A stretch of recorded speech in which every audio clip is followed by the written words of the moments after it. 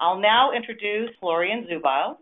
Florian joined Bruker Daltonics in Bremen in early 2018 after conducting his postdoc at the Sanofi Fraunhofer Natural Products Center in Frankfurt, Germany, where he oversaw the MS-based dereplication platform. He is a natural product chemist by training, interested in the MS-based identification and analysis of small molecules. At Bruker, he is part of the metabolomics applications team for Q-TOF and timsTOF instruments. I'll now turn the presentation over to Florian. Thank you, Nancy, for the nice introduction, and also welcome from my side, um, from Bremen to everyone joining online. I would like to give you a short introduction about our untargeted metabolomics software, which is Metaboscape, currently at version 4.0.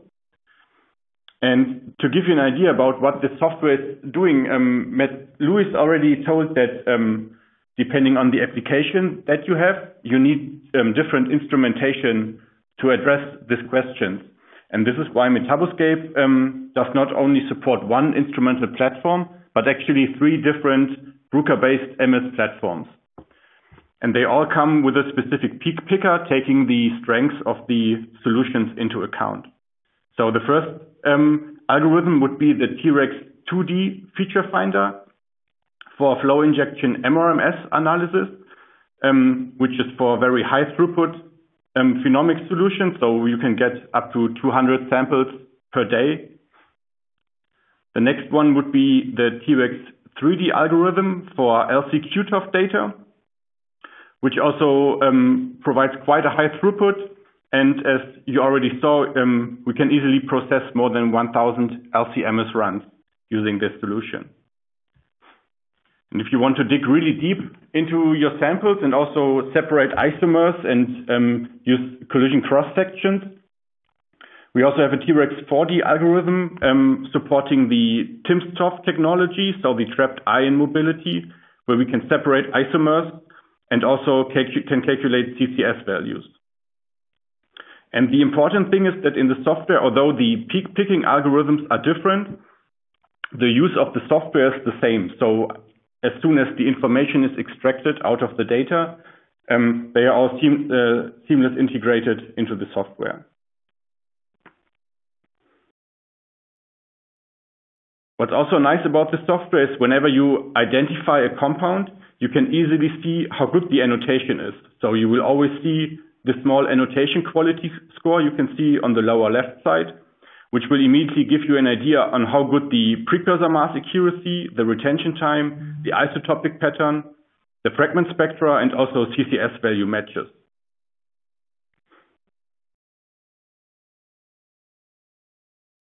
Here you can see a screenshot of the software, and the most important part really is the table in the middle, I would say. It's the so-called bucket table, and ideally, every row contains one compound in your samples, and then you can see the intensity of this compound through all of your samples. And um this bucket table is built up by the different T-REX algorithms I just showed you. And then when you have this bucket table, you can easily do statistical analysis. As you can see on the bottom, there's a PCA open, and you can also identify compounds from this point on. And what's quite nice about this software is that it's really interactive, so you can easily see um, how annotated compounds behave in statistics, and you can also easily follow up to identification if you have some unidentified compounds which are regulated, and that you see that in the statistics.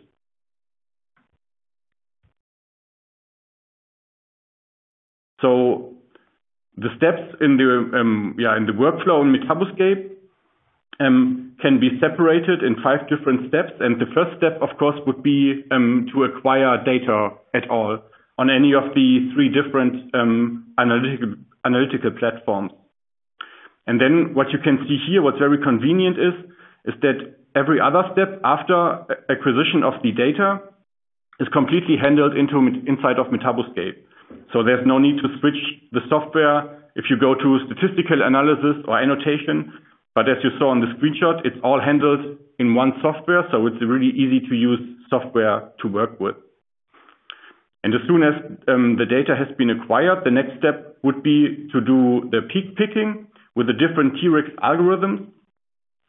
And this will do some more advanced algorithms I will show you on the next slide. So it will also um, perform deconvolution of the data, retention time alignment, and recursive feature extraction to extract all the information from your raw data and to build up this bucket table. And as soon as we have this table, no matter which um, analytical platform we choose, we can go to further on to identify our compounds that we detected and also to perform statistics to identify regulated compounds. What's also supported by MetaboScape is a visualization um, of biochemical pathways. So if you are looking into a specific biological pathway, you can import this to MetaboScape, and then you can immediately see if the compounds included in this pathway are regulated or not, and also if they are down or upregulated. So if you look at step two, the peak picking algorithm, and here's an example of the T-Rex 3D algorithm for LC-Q-TOF data.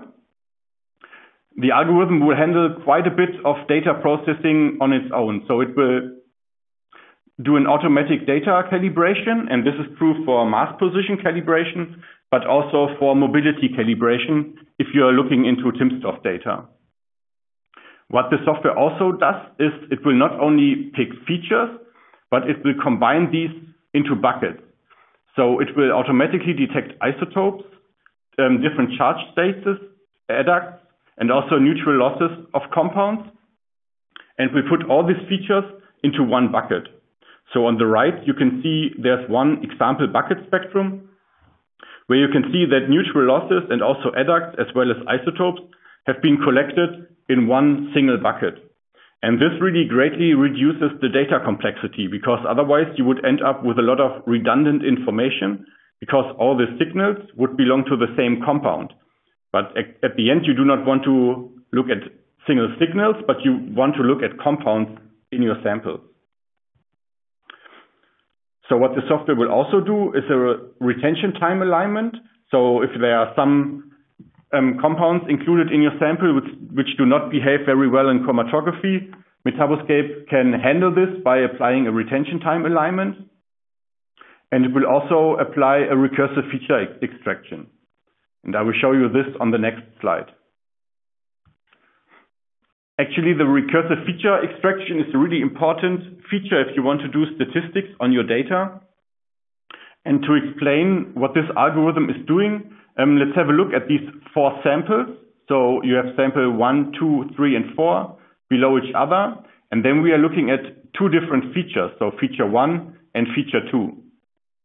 And During peak picking in every metabolomic software, you need to specify a certain threshold to distinguish noise from real signals.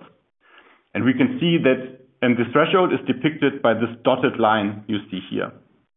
And we see that feature one is detected in all four samples consistently, and the respective intensities are then reported in the bucket table. But for feature number two, you can see actually a peak is present in all three samples, but uh, due to regulation in sample number three, the peak is just below the threshold. So in the first step, the software would report a zero in your bucket table. Of course, this would not be good for statistics because um, this would assume you would have total regulations, although there still is a signal present.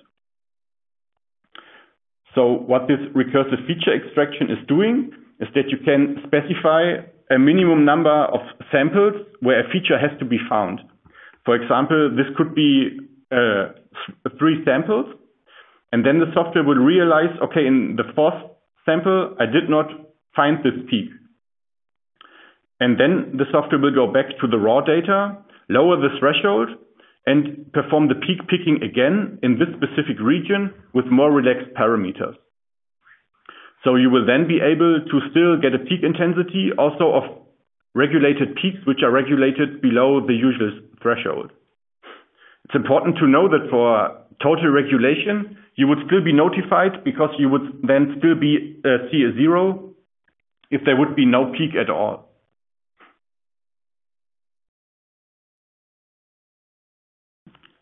So for timsTOF data, um, this is also completely integrated in MetaboScape by the TREX 4D algorithm. And uh, you can easily detect isomers in MetaboScape. You can get cleaner MS/MS spectra by separation in ion mobility of the precursor ions. And you also um, can see a CCS value, so a collision cross-section value for all your analytes. And it's important to know that the CCS values are a property of the ions of your compound, so they are independent of any chromatography. So they can be easily used for annotation of your compound as an additional qualifier. You can also see mobilograms of all of your compounds, so you can, for every compound, easily see how it behaves in the mobility dimension and also if there are isomers present or not.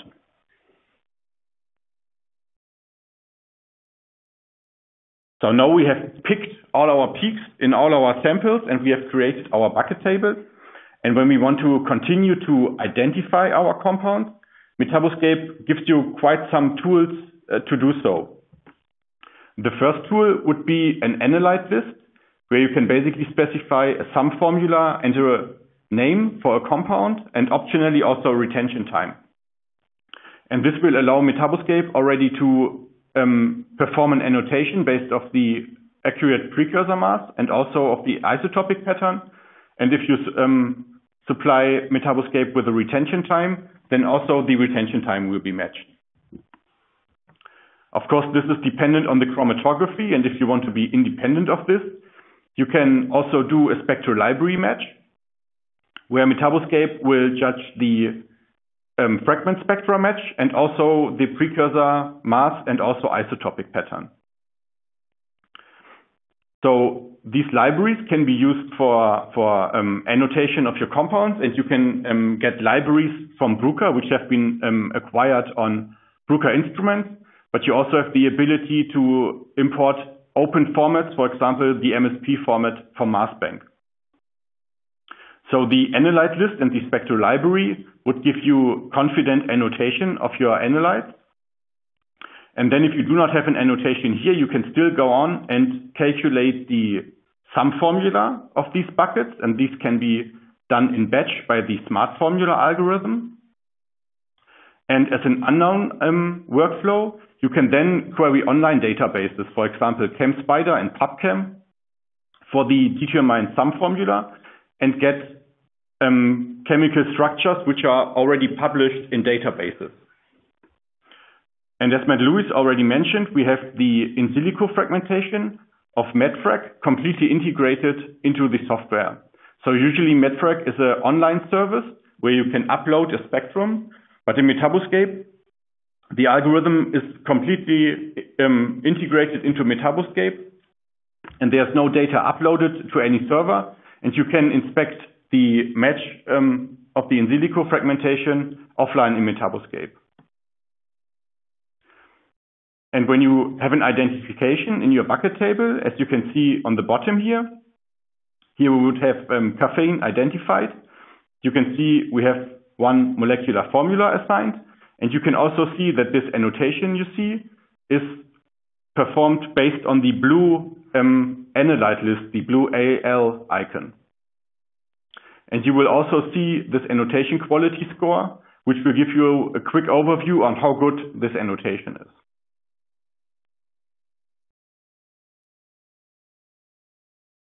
So, um, as you can see, the different tools for annotation in MetaboScape um, give you different annotation confidence.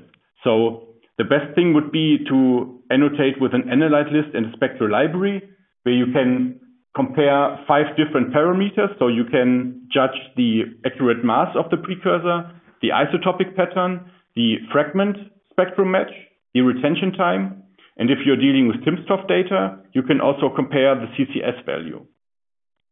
And then we also support less confident annotations by the tools I just explained to you. So all these tools yeah, take different strengths of the um, different instruments into account.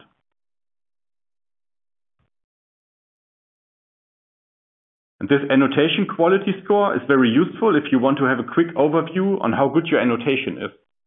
So you will see that for every qualifier, you have one um, entry in here, and you can have um, two green bars or for a perfect match, or one gray bar for a medium match, or even no bar if this information is not present in your data because, for example, Uh, CCS value is only available on Ion Mobility instruments, of course.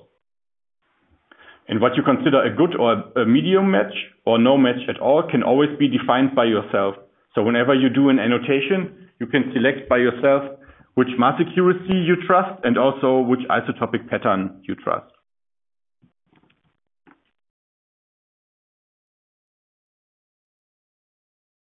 I also want to present the um, dedicated Accelerate workflow that also Matt already talked about. And this is built on the SciMax MRMS platform. And as you already heard, this platform can provide a very high sample throughput. So you can um, easily measure over 200 samples per day. And this is done by skipping chromatography completely and just recording one spectrum per sample Um, in this very high resolution MRMS instruments. So in this spectra, we will get a resolution of more than 1 million, which enables isotopic fine structure. And also we have a very good mass accuracy of below 0.2 ppm. So the high resolution combined with the high mass accuracy really allows just to record one spectrum per sample, which can be then easily used for sum formula determination and also for profiling of large sample cohorts.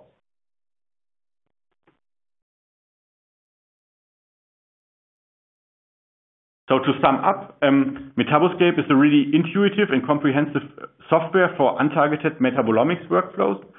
Um, you saw we have different algorithms for importing data into the software based on the different hardware platforms.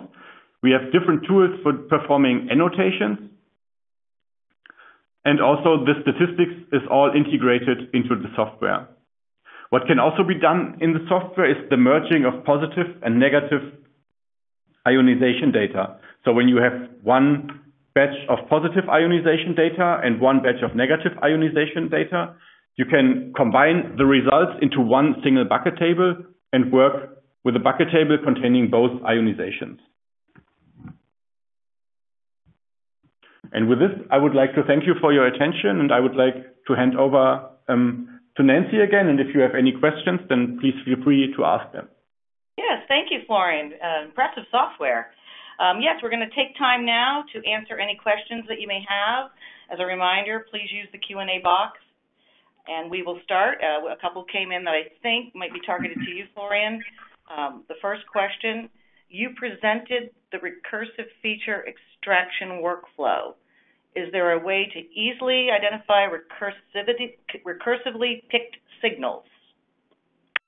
Yes, um, this is very transparent in the software. So you will see the intensities in your bucket table, and every signal that has been picked recursively, recursively is in italics and it's also shadowed. So it's easily seen that this one has been picked recursively. Okay, I think this one might be for you as well. Is it possible to use unpublished chemical structures like known in-house analytes for the in silico fragmentation, or do you rely on online databases? Um, yes, that's a very good, a very good question. So um, we use our chem, uh, our compound crawler tool, which can access online databases. Um, but you have also the ability, and this is very important, for example, for pharmaceutical companies, or if you cannot share um, information to the internet, you can also import chemical structures as SDF files and can then use these structures for unknown identification workflows. So if you have already a uh, library of chemical structures, this can be easily integrated into the compound crawler software. Okay, thank you. Another one I think re- related to Metaboscape here. You described the importance of isotopic fine structure for unambiguous formula assignment. Can the Metaboscape software you use handle this information, and if yes, in which way? Um, yes, the isotopic fine structure is also um, automatically handled by the um, T-REX 2D algorithm. And what we at Bruker always do is um, we calculate a so-called millisigma value for the quality of the isotopic pattern match. So we always compare a theoretical isotopic pattern with our measured isotopic pattern. And this can be done both with non-isotopic um, fine structure patterns, but also if we have isotopic fine structure available.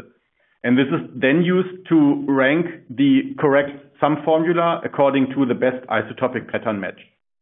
So this is automatically handled um, by the T-REX algorithm and the smart formula software. Okay, well, I think we're out of time right now. I want to thank everyone for joining us today. If uh, you would like to view this webinar or any uh, recordings of past webinars, you can visit us at www.bruker-webinars.com. We certainly appreciate your time today and have a great rest of the day. Thank you. Thank you.